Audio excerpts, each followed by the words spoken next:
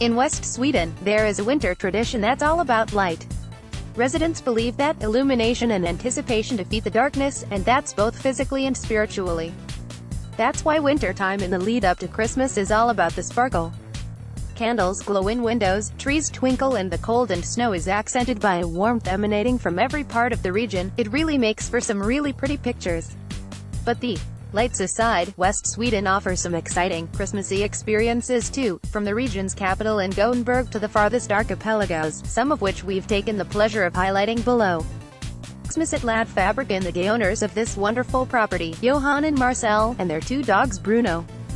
Their much talked about shellfish Christmas table is available now until the weekend before Christmas, a traditional Swedish Christmas dinner, but with a special seafood touch, to remind you that you're by the sea. After the merriment, you can stay overnight in their charming boutique property. It is really a special treat, as there are only four gorgeous rooms to choose from.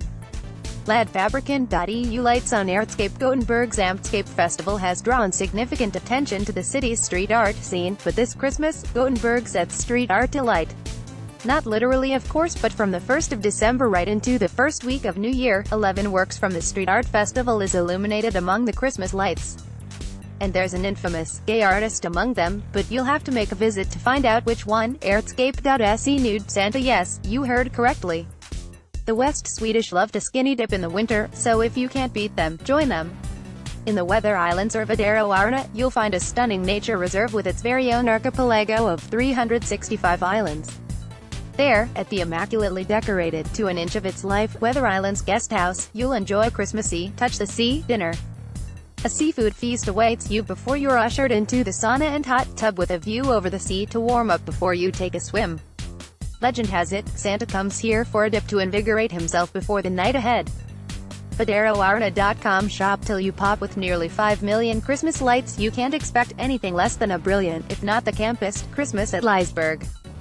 Sweden's biggest and most atmospheric Christmas market, Liseberg is an amusement park that opened in 1923 and has since grown to be one of Europe's biggest attractions and hosts the Sweden's largest Christmas market boasting 80 stalls and ice skating rink and a belly-busting Swedish Christmas buffet.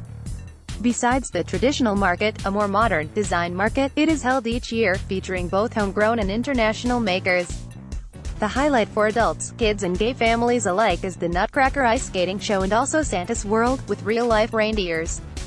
Liseberg.com to find out more about Christmas in Gothenburg. Visit Gothenburg.com More West Swedish excitement and ideas at westsweden.com. For all year-round LGBT travel inspiration to the welcoming country of Sweden, visit visitswedenlgbt.com.